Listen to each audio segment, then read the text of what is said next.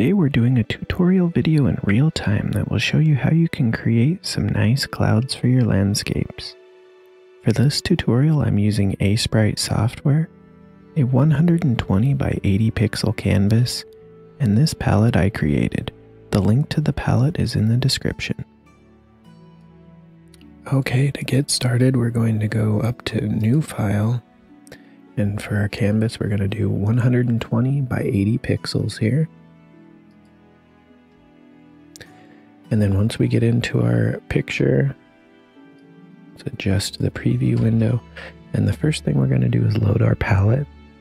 So to do that, we go up to the options menu here, load palette, and this cloud palette here is the one we're going to use. You can get this from the link in the description.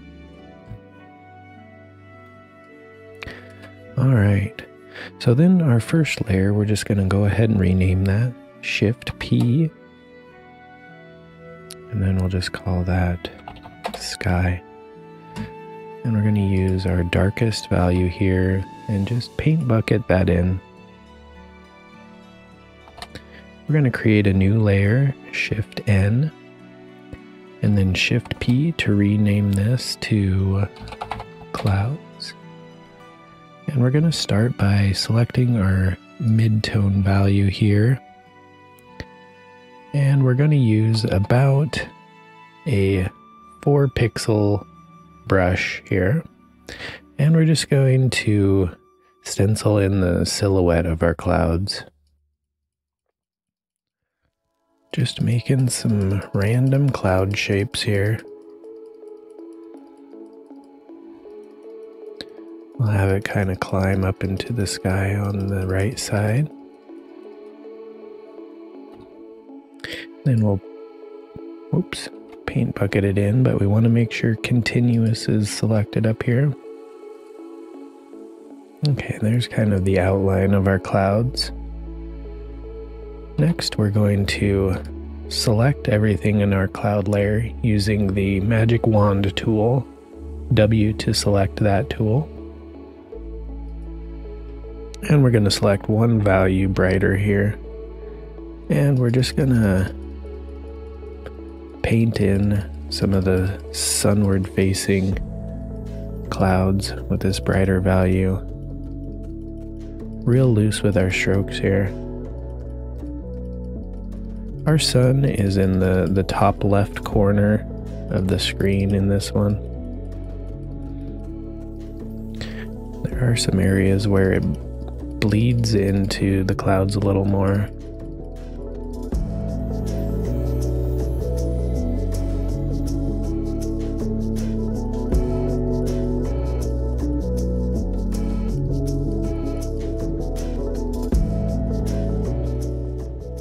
Okay, that seems good. And then for our even brighter value, we're going to come in, maybe zoom in a little bit, and just hit some of the edges here.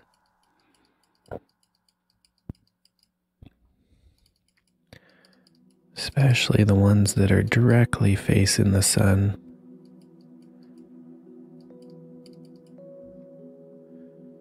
Won't overdo that one.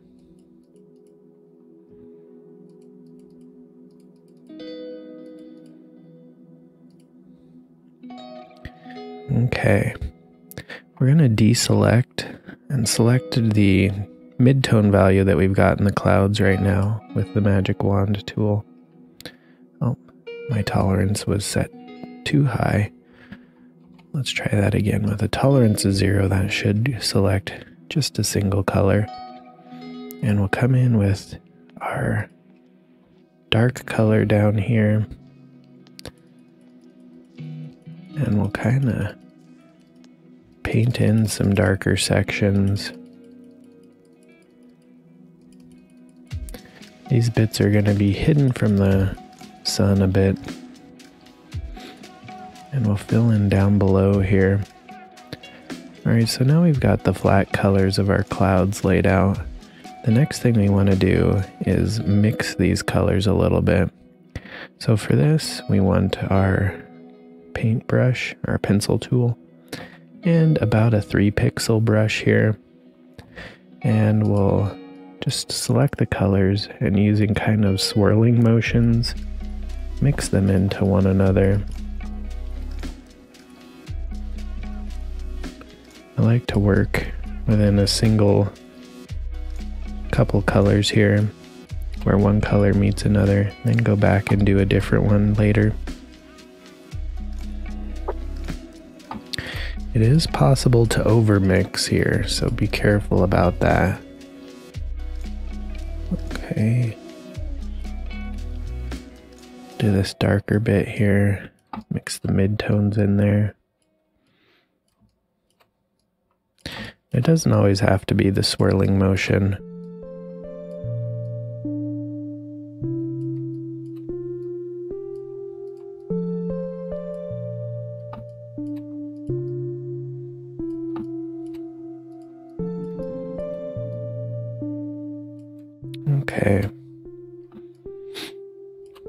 Now that our colors are a bit swirled into one another, the next thing we can do is kind of blend these volumes a little bit.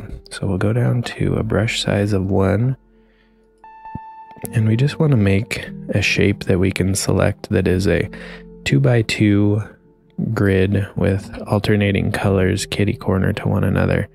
So like this in this case. Once you have that selected, you do Control B, and now we've got a brush made out of those colors. And we want to make sure up here that pattern is aligned to destination. And then zooming out here, we can just add some of this dithering brush in. Doesn't have to be everywhere.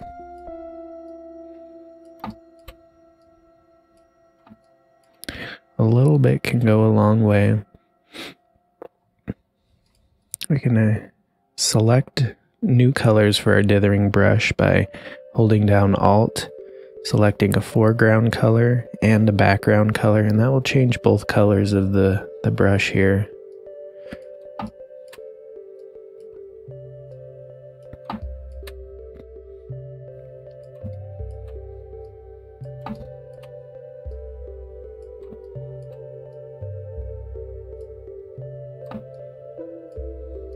There we go.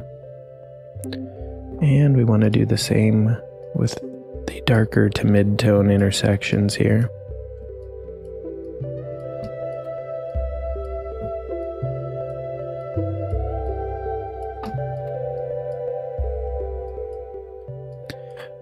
Okay, so we've got some clouds now, but these all seem to be one big blob, and we want to break those up into a few different structures and show some overlap.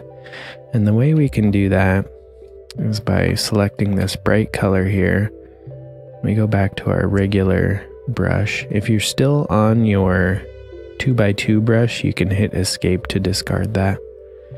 And we can just slide this down here and slide some midtones in here as well. And this is just going to help show some overlapping of this big structure to the small one behind. And then we can do that here as well.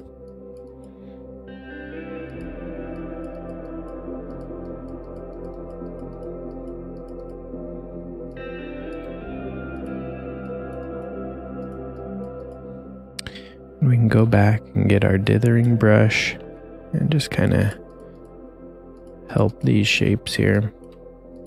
Help the transition of these lines. Oh, there we go.